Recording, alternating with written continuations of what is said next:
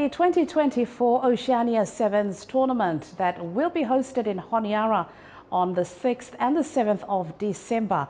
The event will draw elite rugby players from across the Pacific and beyond. The event uh, historically draws a lot of interest globally uh, because of the fact that we've got the best sevens teams in the world participate in the Oceania Sevens.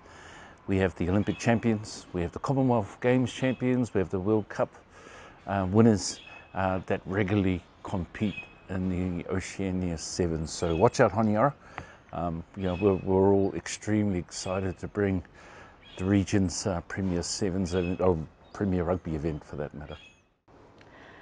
A historic event for rugby in Solomon Islands to be hosted by the Solomon Islands government in partnership with the Oceania Rugby and the Solomon Islands Rugby Union Federation.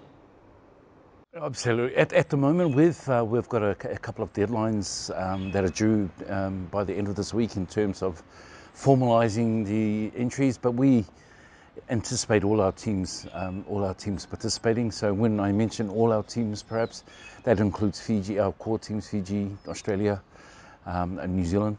Um, there are obviously the uh, a, uh, a, a clash that weekend. These the Cape Town Sevens um, that's happening on the same weekend. So we may see development teams from New Zealand and Australia for this year only um, participating, including Fiji, um, but we will have the best national teams from each of the other member unions here.